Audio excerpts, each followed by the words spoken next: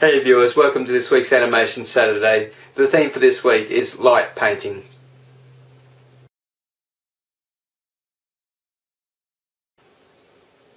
Each frame of light animation is created with lights. Each animation this week shows a different technique. The first animation this week is called Light Drive. It's an abstract animation created with a record turntable and a bunch of lights. The second animation this week is called iPad Light Painting. At the start of the video they show you how the animation is made. It's a very creative use of an iPad to make 3D light paintings. The last animation this week is called Lucky by Darcy Prendergast. Darcy is a local Melbourne animator. This one was created using glow sticks and definitely has some great moments. I really like the bike crash and the appearance of Mario in this one. I hope you enjoy them.